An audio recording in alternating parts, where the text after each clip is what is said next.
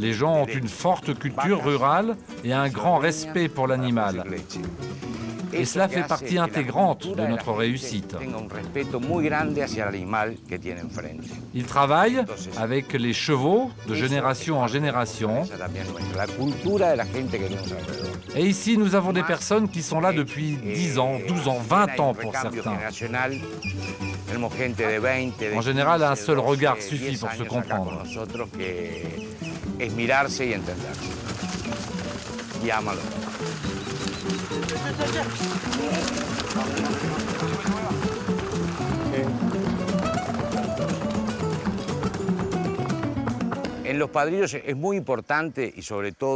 En ce qui concerne les étalons, il est très important de comprendre l'organisation des courses en Amérique latine et en Uruguay, où la grande majorité des épreuves est disputée sur des distances de 1200 à 1400 mètres. 1200 y 1400. Un haras commercial doit donc produire des chevaux qui gagnent des courses. J'ai entendu dire que le Don Alfredo réussit surtout en quantité et pas en qualité. Mais il y a deux ou trois ans, on a réussi l'exploit de 2011 placer nos 2010, quatre étalons en tête de liste des pairs. Après la grande réussite de Robin Despins, un fils de Nureyev qui était champion sprinter en Europe et tête de liste des étalons en Uruguay à six reprises, c'est maintenant Asidero qui porte le drapeau du Don Alfredo. Ce petit-fils de Nureyev a remporté cinq groupes 1 en Argentine sur des distances de 1600 à 2400 mètres. Et il a été élu étalon de l'année pour les trois dernières saisons en Uruguay. Le deuxième étalon du Haras se nomme Southern Lawyer. Par le patriarche argentin Southern Halo, ce jeune père est spécialiste des courtes distances qui sont si fréquentes à Marognas.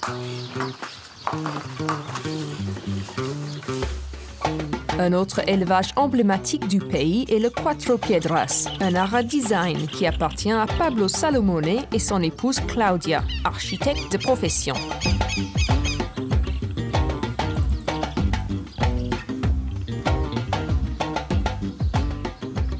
Eh, Estamos acá desde hace 12 años y antes de mudarnos vivíamos en Montevideo. Nous sommes installés ici depuis 12 ans.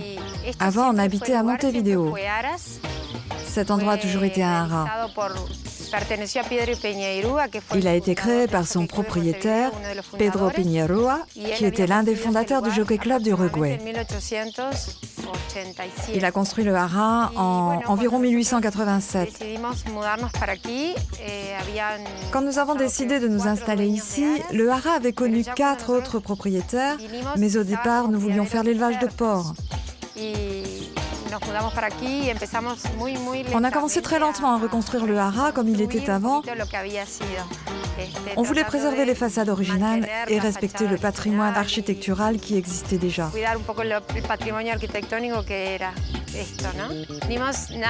C'était uniquement un projet familial. J'étais enceinte de ma première fille, Frederica, et on cherchait seulement un bel endroit pour vivre. Y, y bueno, de a poco, este, Puis on nos commençait à s'enthousiasmer. Au début avec quelques juments, puis ensuite en tant que haras professionnel. Ça fait más 7 ou 8 ans maintenant que nous nous sommes lancés dans l'élevage. Cela a commencé sans planification ou projet fixe. Et aujourd'hui, nous voici au acá Nous y sommes très heureux. Muy felices. Una mezcla de, de la profesión, yo soy arquitecta. Mon métier est architecte et j'ai toujours apprécié le style rural. Rural, la arquitectura de campo. Je profite beaucoup de cet endroit, j'adore les arbres et j'adore dessiner ce genre de jardin avec des structures pour les chevaux.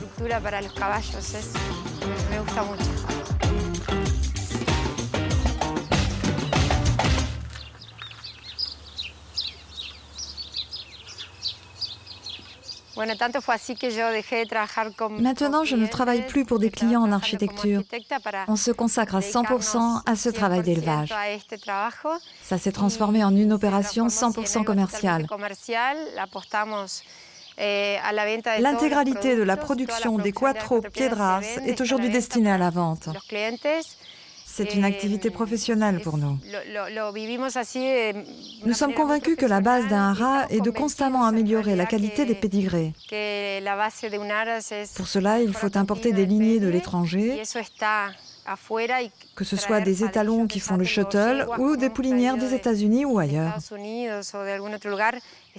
On est convaincu que c'est bénéfique pour l'élevage de ce pays et que l'Uruguay va progresser dans le marché international du pur sang seulement si l'on investit en des étalons et des poulinières de qualité. Le Cuatro Piedras a été le premier en Uruguay à faire venir un étalon des États-Unis pour la saison de monde de l'hémisphère sud. Ils sont très fiers des foals issus du père Smarty Jones, lauréat du Kentucky Derby en 2004.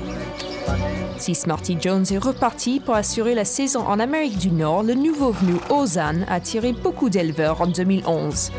Ozan représente un partenariat très valorisant pour les Quattro Piedras avec l'opération internationale Shadwell, qui a découvert ce petit pays grâce au champion Invasor. Tout a commencé il y a 4 ans, lors de ma première visite ici. Sheikh Hamdam Al Maktoum avait acquis Invasor en Uruguay. Et comme chacun le sait, le cheval est devenu champion du monde.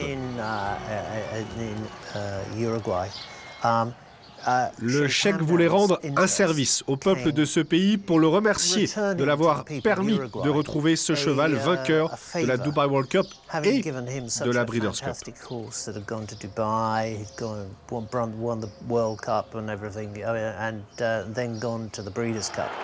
Invasor est aujourd'hui étalon dans le Kentucky, mais Sheikh Hamdan continue à s'intéresser au pays où le cheval a débuté. Shadwell est devenu sponsor à Maronias et a confié le vainqueur de groupe 1 Ozan aux Quattro Piedras.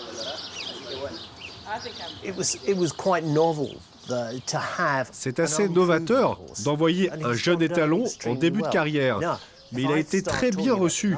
Si on parle chiffres, ça n'a rien à voir avec ce qu'on connaît dans l'hémisphère nord, mais il a sailli 33 ou 34 juments et tout le monde est ravi. Pour l'Uruguay, ce chiffre est plus que satisfaisant pour un étalon en première saison de monte.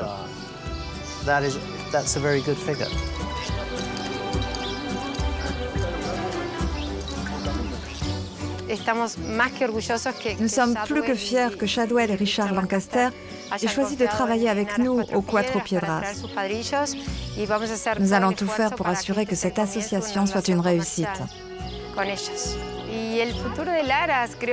Je pense que l'avenir de notre hara est lié de près à l'avenir du pays. En ce moment, l'Uruguay va très bien à tous les niveaux.